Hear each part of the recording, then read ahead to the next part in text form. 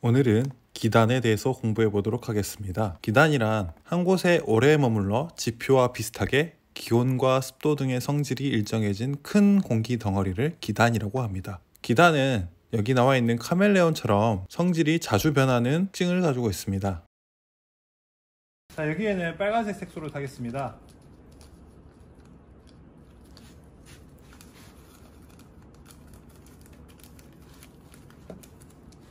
잘 섞어주겠습니다. 빨간색, 초록색. 자, 지금 선생님의 손이 기단이라고 하면은 어떻게 될까요? 이 기단이, 이 공기 덩어리가 이 환경에서 어떻게 변하게 될까요? 자, 넣어보겠습니다.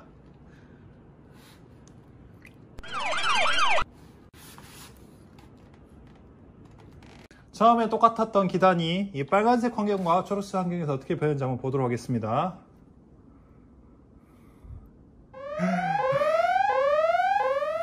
보이시나요? 처음에 살색이었죠, 둘 다. 근데 여기는 빨간색, 여기는 초록색으로 성질이 변하게 된 것입니다. 기단도 똑같겠죠?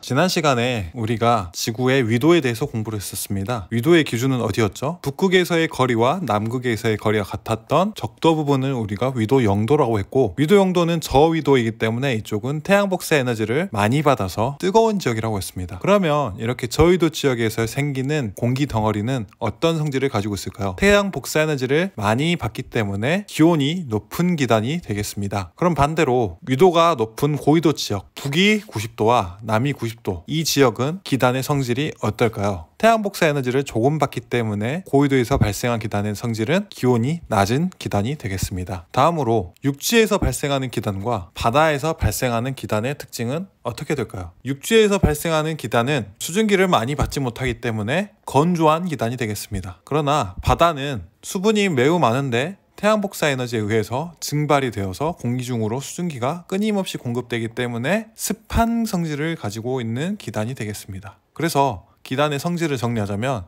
고위도에서 발생한 기단은 기온이 낮은 기단, 저위도에서 발생한 기단은 기온이 높은 기단, 대륙에서 발생한 기단은 건조한 기단, 해양에서 발생한 기단은 습한 성질을 갖는 기단이 되겠습니다. 차가운 육지에서 따뜻한 바다를 지나서 따뜻한 육지로 갈 때 기단은 어떻게 되는지 보겠습니다. 차가운 육지에서는 우리가 배웠죠. 차고 건조한 기단이 생성이 됩니다. 기단은 그 자리에 가만히 있지 않고 끊임없이 이동하면서 주변의 환경에 의해서 성질이 달라지게 되는데요. 차가운 육지에서 발생한 차고 건조한 기단이 따뜻한 바다를 지나가게 되면 어떻게 될까요? 따뜻한 바다니까 온도가 높아지면서 바다에서 끊임없이 올라오는 수증기를 받으면 차고 건조한 기단이 이렇게 따뜻하고 습한 기단으로 변하게 됩니다. 따뜻하고 습한 기단이 되면은 저위도 지역에서는 병합설에 의해서 비가 오게 되고 고위도 지역에서는 빙정설에 의해서 눈이 오게 되는 것입니다. 그럼 우리나라 주변에는 어떤 기단이 있는지 한번 살펴보도록 하겠습니다. 우리나라 지도를 보겠습니다. 자, 왼쪽 위에는 시베리아 지역에서 만들어진 공기 덩어리 그래서 시베리아 기단이라고 하고 우리나라가 중위도인데 상대적으로 고위도 지역에서 대륙이니까 성질은 차갑고 건조한 기단이 되는데 여기서 차갑다는 것을 우리가 한랭이라고 표시를 하겠습니다. 그래서 시베리아 기단은 차갑고 건조한 한랭 건조의 성질을 갖게 되겠습니다. 이 시베리아 기단이 우리나라로 가까이 오게 되면 어떻게 될까요? 차갑고 건조한 기단이 내려와서 우리나라의 겨울에 영향을 미치게 되는 것입니다. 춥고 건조하죠. 그래서 우리가 겨울철에 입술에 자꾸 립밤을 바르는 것이 이 시베리아 기단 한랭 건조의 영향을 받기 때문입니다.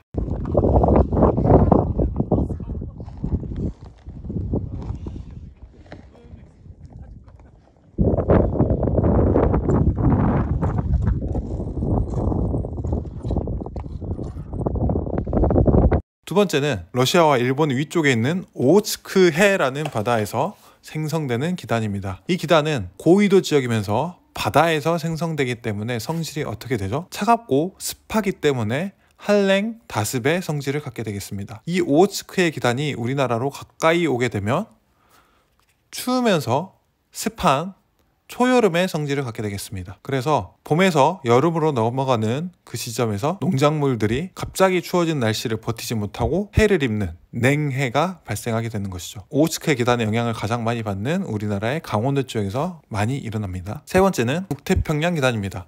태평양의 북쪽에서 발생한 기단은 성질이 저위도이면서 바다이기 때문에 고온 다습의 성격을 갖게 되겠습니다. 이 북태평양 기단이 가까이 오게 되면 우리나라가 점점 뜨거워지면서 습해지기 때문에 여름에 영향을 주겠습니다.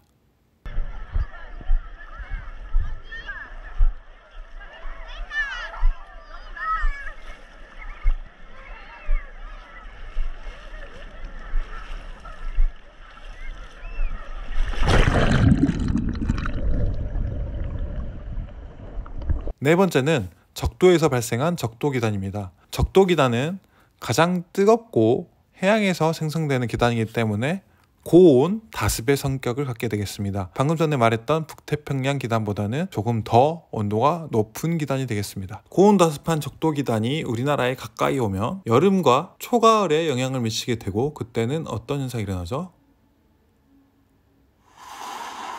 이렇게 장마가 일어나게 되는 것입니다.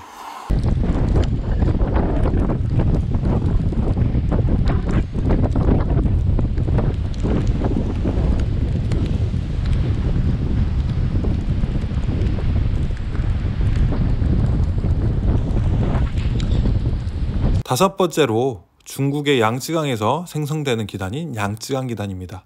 양쯔강 기단의 특징은 중위도 지역 그리고 대륙에서 발생하는 기단이기 때문에 온난하고 건조한 성질을 갖게 되겠습니다.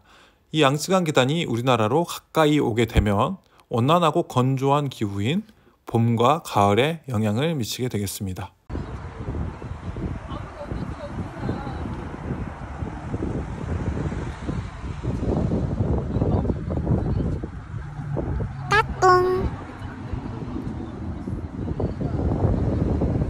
그래서 우리나라에 영향을 미치는 기단에는 이렇게 크게 다섯 가지의 기단을 들 수 있겠습니다.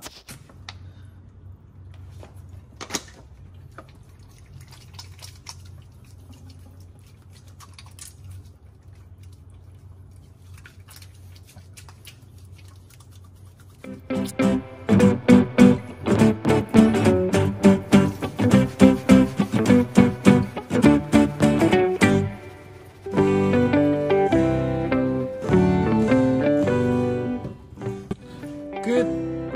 끝! 돌아왔죠? 아, 좀 빨갛다. 어떻게 하지, 이거? 오늘 수업 끝!